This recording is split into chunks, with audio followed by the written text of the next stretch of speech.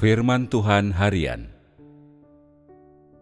Aku telah melakukan sangat banyak pekerjaan di bumi, dan aku telah berjalan di antara manusia selama bertahun-tahun. Tetapi orang jarang memiliki pengetahuan mengenai gambarku dan watakku dan hanya sedikit orang yang dapat menjelaskan secara menyeluruh mengenai pekerjaan yang aku lakukan. Ada begitu banyak hal yang kurang pada diri manusia.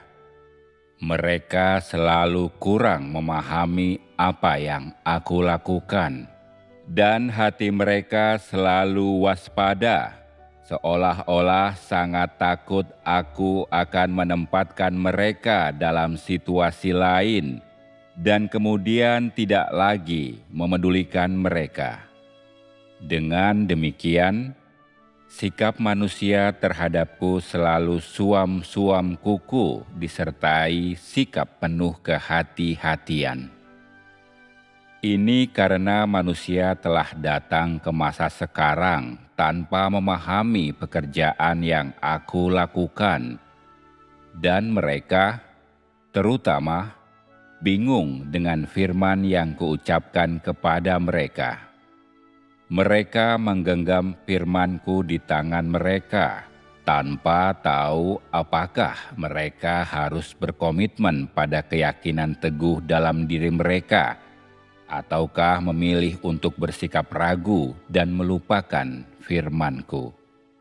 Mereka tidak tahu apakah mereka harus menerapkan firmanku, ataukah menunggu untuk melihat apa yang akan terjadi.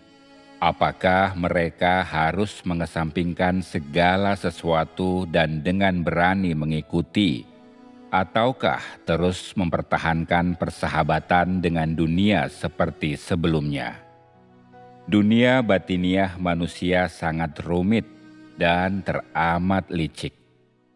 Karena orang tidak dapat dengan jelas mengerti atau sepenuhnya memahami firmanku, banyak dari mereka mengalami kesulitan menerapkannya dan mengalami kesulitan menyerahkan hati mereka kepadaku. Aku sangat memahami kesulitanmu.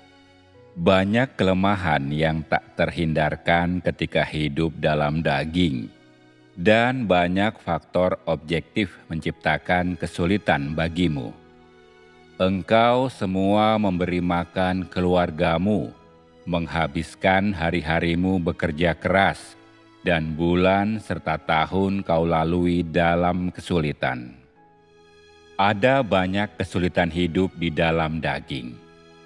Aku tidak menyangkal hal ini, dan tentu saja tuntutanku terhadapmu dibuat sesuai dengan kesulitanmu tuntutan dalam pekerjaan yang aku lakukan semuanya didasarkan pada tingkat pertumbuhanmu yang sebenarnya.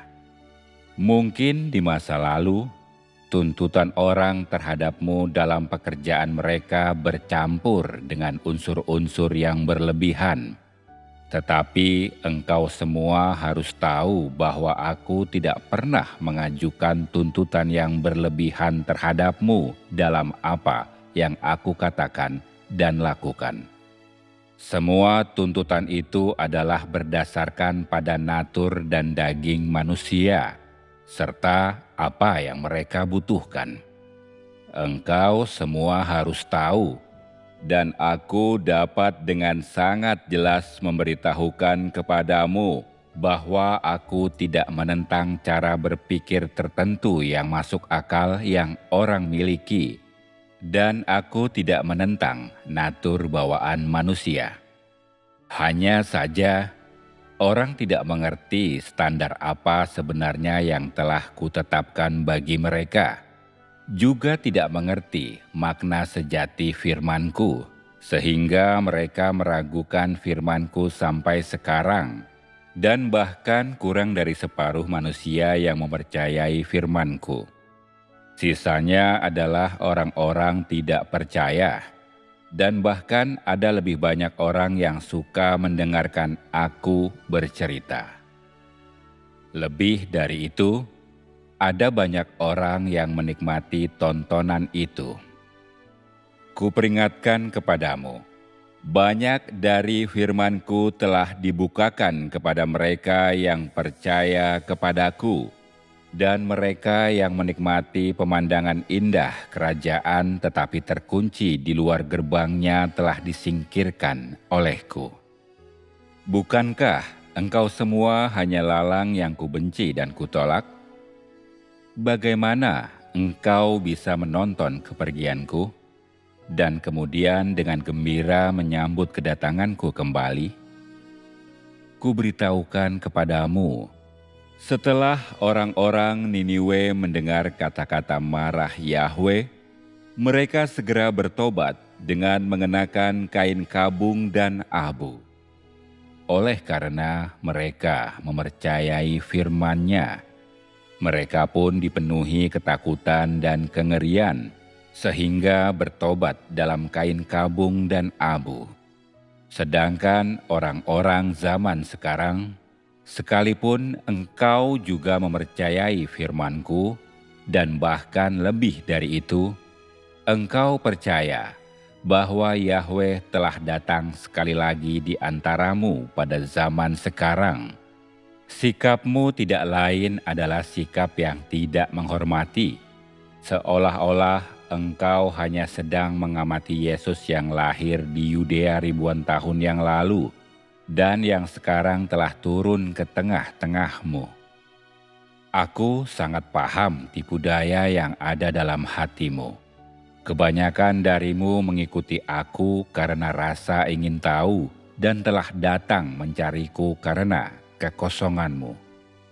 Ketika keinginan ketigamu tak tercapai, yakni keinginanmu mendapatkan hidup yang damai dan bahagia, keingintahuanmu juga menghilang.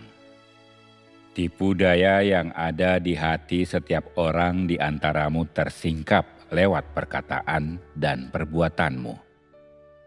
Sesungguhnya, engkau semua hanya ingin tahu tentang aku, tetapi tidak takut kepadaku. Engkau tidak menjaga lidahmu, bahkan lebih dari itu, engkau tidak menahan diri dalam perilakumu. Lalu, iman seperti apa sebenarnya yang engkau semua miliki? Apakah imanmu itu tulus? Engkau semua hanya menggunakan firmanku untuk mengusir kekhawatiranmu dan mengurangi kebosananmu, untuk mengisi ruang-ruang kosong yang tersisa dalam hidupmu. Siapakah di antaramu yang telah menerapkan firmanku? Siapakah yang memiliki iman yang tulus? Engkau semua terus berteriak bahwa Tuhan adalah Tuhan yang melihat ke kedalaman hati manusia. Tetapi bagaimana Tuhan yang engkau teriakan di dalam hatimu itu sesuai denganku? Jika engkau semua berteriak seperti ini, Lalu, mengapa engkau bertindak dengan cara seperti itu? Mungkinkah dengan kasih seperti inilah engkau ingin membalasku? Tidak ada sedikit pun pengabdian di bibirmu, tetapi di manakah pengorbananmu dan perbuatan baikmu? Jika bukan karena ucapanmu telah mencapai telingaku, bagaimana mungkin aku begitu membencimu?'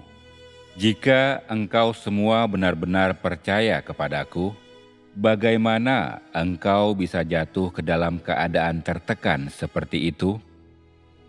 Wajahmu terlihat depresi, seolah-olah engkau sedang diadili di dunia orang mati.